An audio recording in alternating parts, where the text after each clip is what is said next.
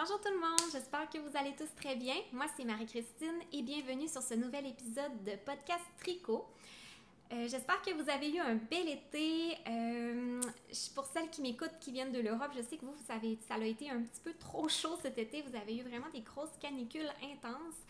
Euh, mais ici au Canada, ce fut quand même euh, raisonnable comme été. On n'a pas eu trop de grosses chaleurs pendant trop longtemps.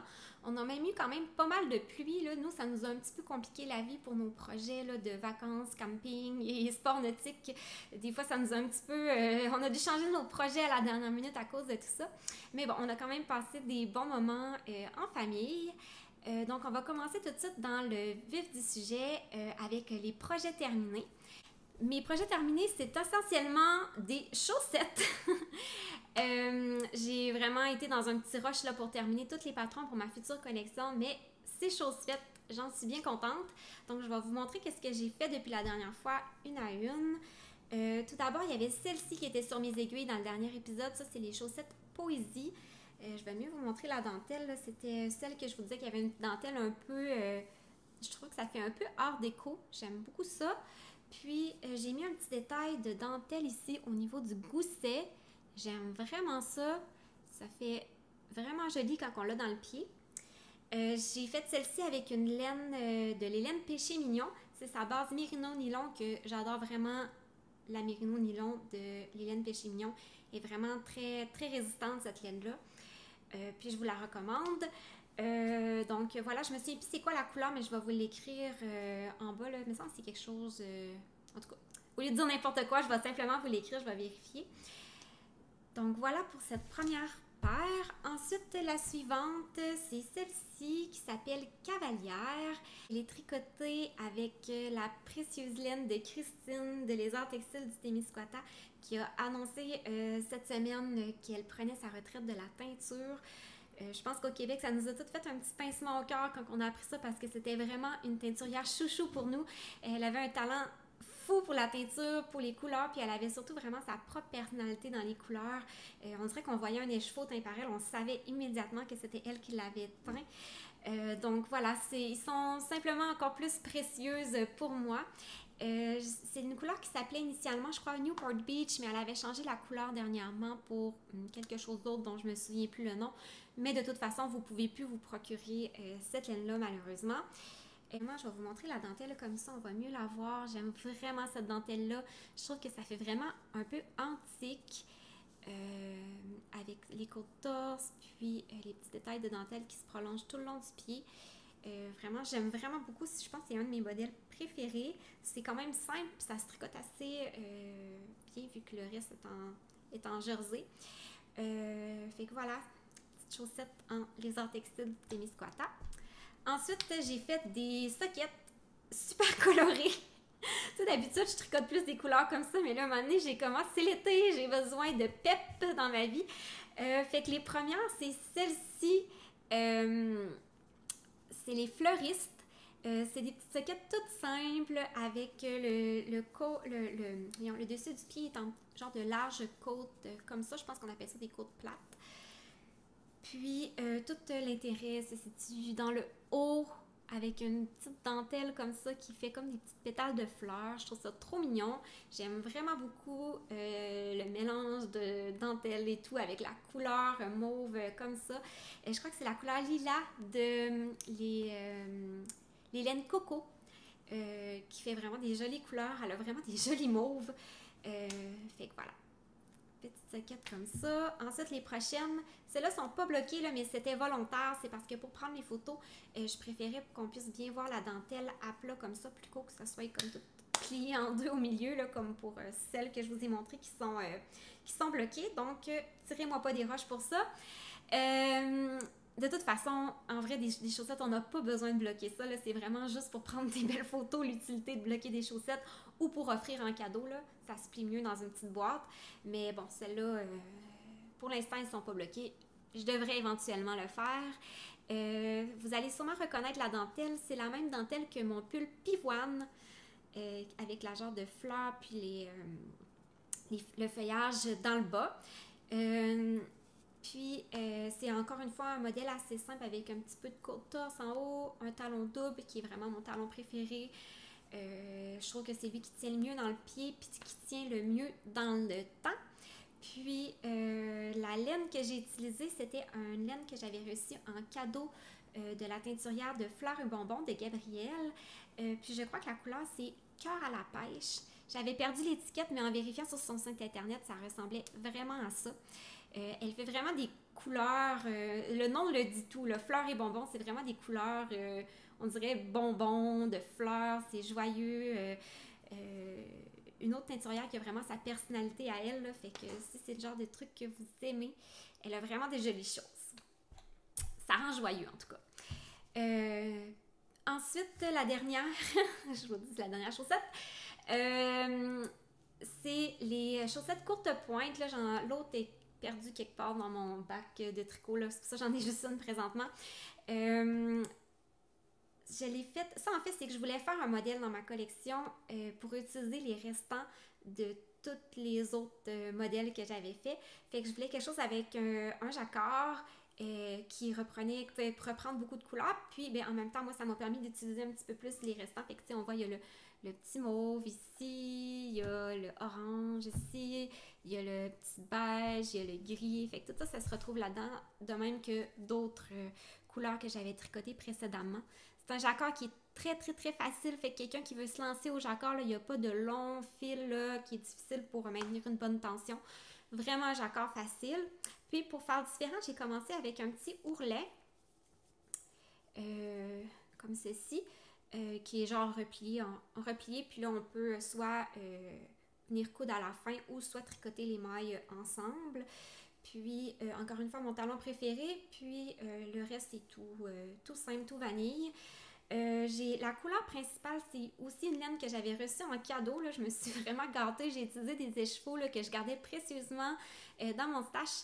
Ça vient de Lily sur un fil. C'est la couleur orage. C'est vraiment magnifique. Euh, cette couleur-là, c'est comme un beau euh, bleu-gris de ciel orageux. Euh, je trouve que ça tient bien son nom. Puis voilà, ça c'était vraiment du bonbon à tricoter. le genre de choses que je risque de, je risque de m'en refaire de plein de couleurs pour utiliser des restants. C'est vraiment le genre de petit modèle que j'aime faire. puis, ah, je vais vous montrer, mais les gens me demandent toujours qu'ils veulent voir l'intérieur de mon jacquard. Donc, Juste pour vous, voilà mon intérieur de jacquard. là, c'est sûr que là, ça a l'air tout bien régulier, c'est parce que ça a été bloqué, donc étiré. Mais euh, avant de le bloquer, les fils avaient l'air un peu trop euh, lâches. Puis c'est comme ça qu'il faut que ça soit si vous voulez que ça garde une élasticité. Là, vous voyez, c'est quand même très élastique, euh, comme un peu le reste de ma chaussette. parce que souvent les gens ils disent que le jacquard sur le haut du pied ça fait que c'est trop serré. En fait, c'est parce que vous laissez pas des assez longs fils en arrière parce que le fil, il vient limiter, la longueur du fil vient limiter l'élasticité de votre tricot. Si le fil est court, votre tricot ne s'étirera pas. Donc, il faut vraiment laisser le fil long qui dépasse. Au début, ça fait pas beau, mais une fois que c'est bloqué, étiré, parce que moi, mon, bloqueur à bas, la, jambe est, qui est, assez large à ce niveau-ci.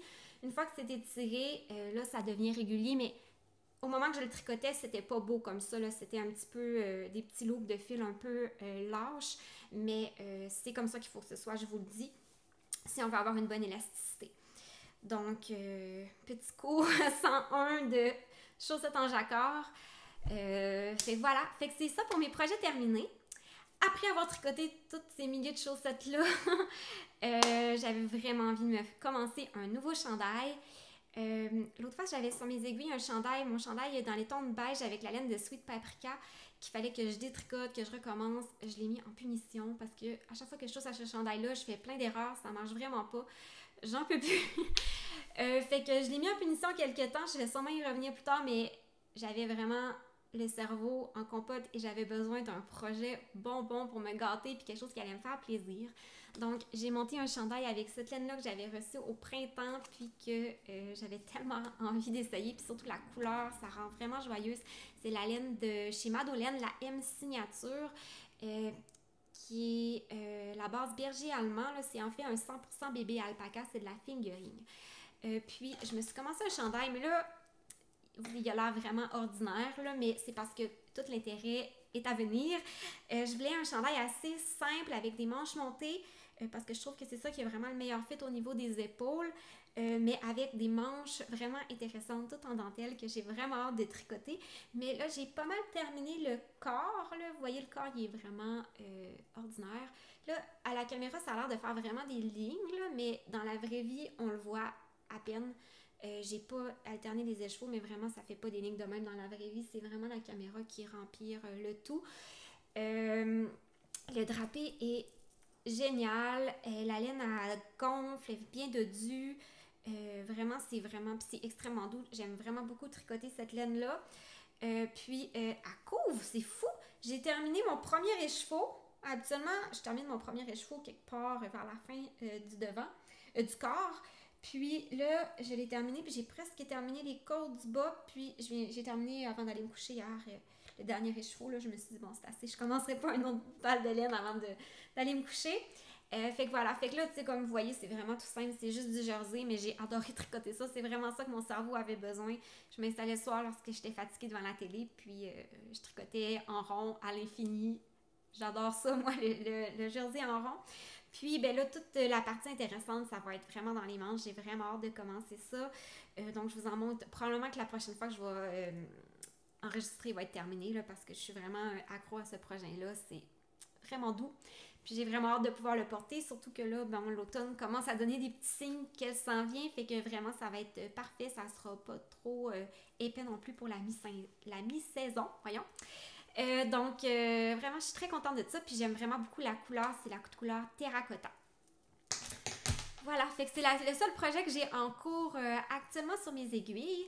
Je voulais vous parler, je suis allée au début juillet, oui c'est ça, début juillet, euh, à la Vilaine, il y avait un événement, la Vilaine reçoit. Euh, on a fait ça une fois de temps en temps l'été, euh, recevoir des teinturières, faire un genre de petit marché de teinturières dans la boutique. Puis j'avais la chance de pouvoir y aller cette fois-ci parce que souvent ça tombe des fins de semaine que je travaille et tout ça, c'est des fois c'est pas facile à organiser de pouvoir y aller. Et je suis allée en tant que visiteuse, ça le fait vraiment du bien. Et euh, j'ai adoré, c'était vraiment le fun de revoir tout le monde euh, qui était là, euh, que j'avais pas vu depuis longtemps. Puis il y a aussi des gens que j'avais encore jamais rencontrés et que j'ai pu rencontrer. Et c'était vraiment un beau petit moment dans mon été. J'en garde vraiment des bons souvenirs. Surtout après les deux ans de pandémie où que j'ai vu personne et je suis restée prise dans mon trou au Nouveau-Brunswick. ça faisait vraiment du bien de pouvoir voir tous ces gens-là que j'aime beaucoup. Donc, euh, je me suis gâtée, je me suis acheté deux écheveaux de Mohair chez euh, Beau Fibre. Euh, ça fait longtemps que je connaissais cette marque-là, puis que je trouvais vraiment qu'elle avait des belles couleurs. mais bon, ça donné juste jamais. Mais là, j'ai vraiment eu un coup de cœur pour ce mohair-là, de couleur un peu vert sauge. puis j'aime vraiment trop les étiquettes. C'est tout le temps des petits chats. Comme lui, comme déguisé en mouton. C'est vraiment trop cute. Euh, puis bon, c'est euh, du mohair, 70% euh, super kid mohair, 28% soie, 459 verges par 100 grammes. Fait que bon, base de mohair régulière qu'on retrouve d'habitude, mais vraiment, j'adore beaucoup ça. Puis la raison pourquoi j'ai acheté ça, c'est que j'avais reçu cette laine-là de Katia, de l'Hélène Katia. c'est Concept Essential Alpaca.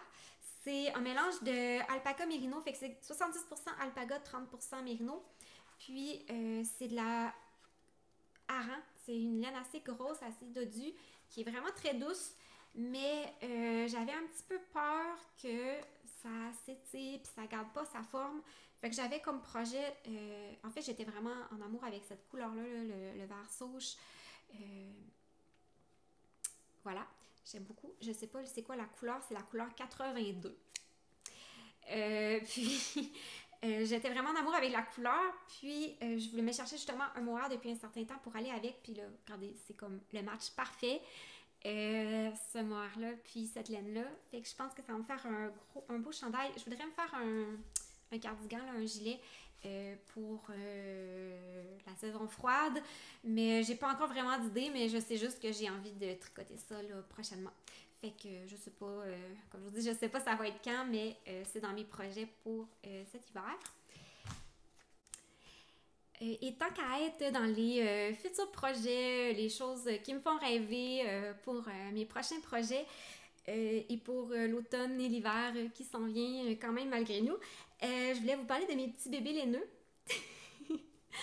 C'est les écheveaux sont tellement gros qu'on dirait vraiment des petits bébés. Euh, j'en ai trois petits bébés, c'est des triplets. Sont pas trop mal commodes, ceux-là, ils pleurent pas, ils font leur nuit, euh, ils ont pas de dents à percer, euh, c'est vraiment les, enfants parfaits. fait que voilà, je voulais vous en parler. En fait, j'ai acheté ça l'hiver dernier. C'est de la Urso. je l'ai acheté chez Rive Compagnie, qui est la boutique là, de Paul et Geneviève. puis, c'est la couleur Millennial Pink. C'est la Urso polaire qui est vraiment une laine, euh, c'est de la, la bulky, c'est de la, vraiment de la grosse laine. C'est 140 euh, mètres par 113 grammes.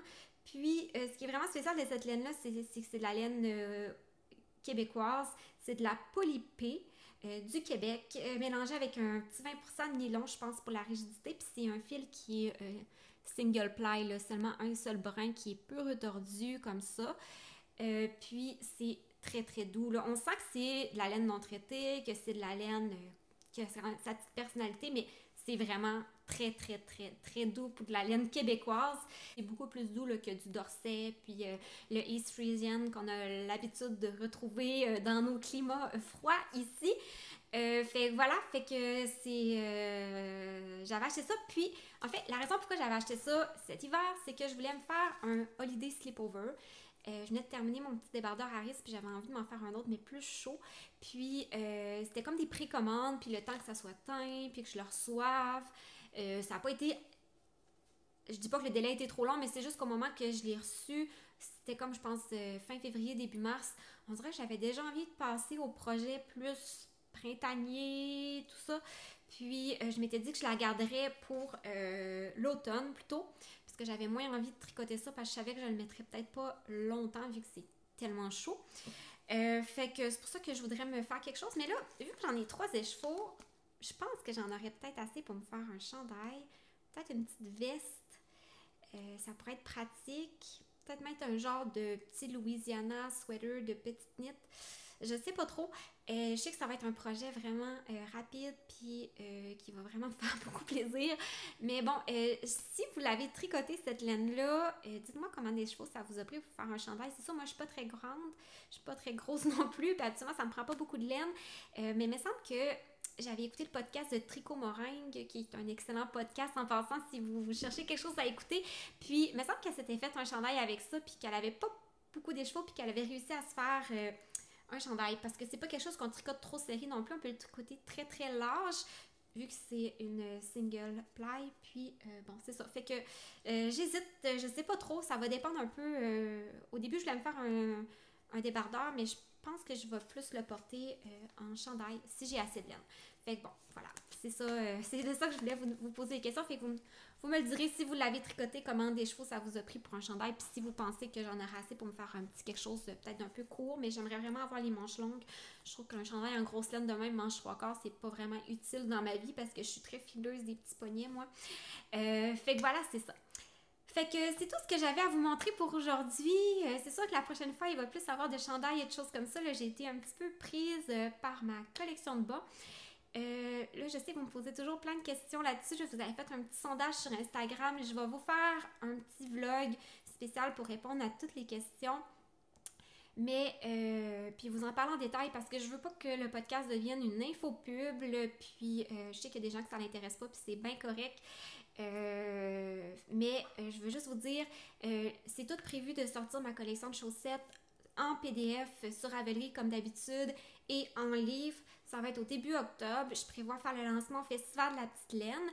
Et pour la première fois, j'ai travaillé beaucoup fort là-dessus dans les dernières semaines. Je suis contente de pouvoir vous le dire. Euh, je vais faire imprimer également en France. Donc, euh, pour les gens qui sont en Europe, qui veulent se procurer le livre, vous allez pouvoir l'acheter directement là-bas. Vous n'aurez pas les frais de shipping et de douane qui s'appliquent à chaque fois lorsque vous commandez au Canada. Ça va être vraiment plus facilement accessible pour vous. c'est sûr qu'il me reste encore beaucoup de travail et des petites choses à fignoler parce que c'est quand même beaucoup d'organisation. imprimer quelque chose dans un endroit que tu n'es pas, mais quand même, c'est, je, peux, je peux vous le dire, là, ça, ça va se faire. Mais comme je vous dis, je vais vous donner tous les détails en temps et lieu, puis je vais vraiment faire une vidéo dédiée juste pour ça. Donc, euh, j'en parle pas plus pour l'instant, mais je voulais juste euh, répondre à ces petites inquiétudes-là que je sais que plusieurs avaient. Euh, donc, merci d'avoir été là jusqu'à la fin. Si vous avez aimé l'épisode, vous pouvez me laisser des petits pouces en haut. ça aide toujours les gens à découvrir la chaîne. je vous souhaite une belle fin d'été, une belle rentrée, du bon temps de tricot. À la prochaine!